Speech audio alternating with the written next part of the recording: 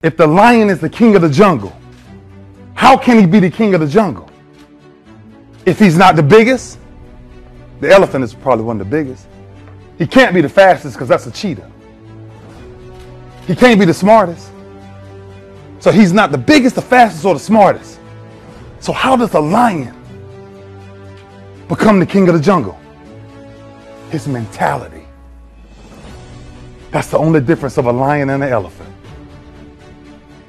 When a lion walks up and sees an elephant, he thinks lunch. An elephant thinks run. and it's all mentality. Because when a male lion walks up, he may be outnumbered by a pack of hyenas. But I'm king of my jungle because of my mentality.